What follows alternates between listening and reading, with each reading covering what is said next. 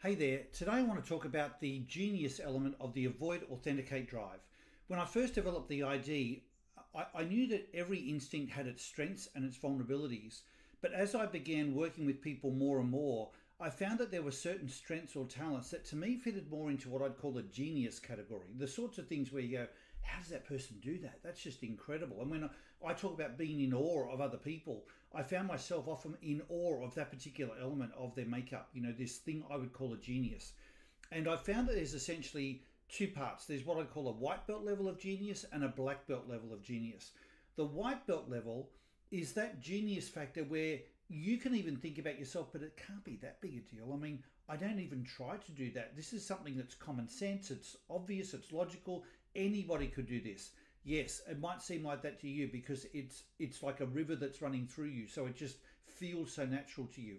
But unless you have that particular instinct, it's not going to be as easy or as natural or as consistent for somebody else who's got a very different ID. So, as an example, when I talk about the avoid authenticate drive, what I'm referring to there is what I would call your ability to read the vibe or your intuition. You know, when you can just read the vibrations, pick up what's not being said, what's not being done. You're just reading maybe the body language or the energy of a situation, and you think, but it was pretty obvious that was that person was upset, even though they said they liked it or they said everything was okay. You read a very different vibe. That type of um, interpretation is something that is very natural and, and occurs consistently for someone who's got the avoid authenticate drive. And other people can look at you, and yes, occasionally they might get some sort of read like that, but you not only get the read consistently, so often you actually know what the other person's thinking and you know what they're feeling. And you may not be able to use the exact words, but the essence of what they're thinking and feeling is what you can interpret from just from somewhere, from the vibe. That's the point. You read the vibe. The black belt level of genius is where people look at you and just think, there's no way. It's like a psychic ability. How on earth could you have done that or read that or, you know, contributed that? It's it's just like an exceptional human ability. And unless you have that particular instinct, it won't shine through you. And it's true for all eight directions of the four instinctive drives. But in the avoid authenticate case, I would say that what I've noticed over the years is that the thing that is at that really incredible, almost psychic level is your ability to create safe space. You know, people will come up and just say, you know, I can't believe I'm telling you this.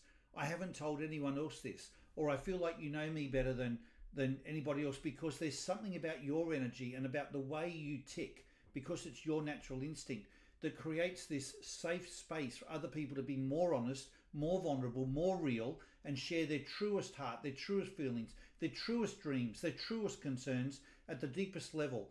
And it's not necessarily because you're motivating or inspiring or, you know, um, anything other than you just have a way about you that creates a safe space that not only allows, but it actually encourages people to go deep and share that deeper, true sense of self.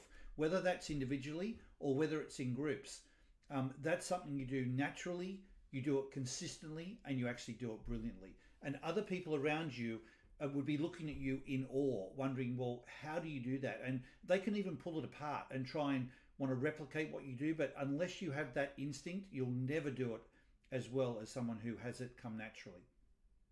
I share that with you, first of all, so you know that it is something that's truly profound and something unique to your ID. But secondly, and above all, so that you use it, so that you understand it, so that you have a confidence about yourself in terms of being able to contribute that to other situations, to other people, and frankly to the world, because that's how you make your greatest difference, using this genius within you. And then when you look through the lens of ID at others, this is how you can be in awe of other people as well.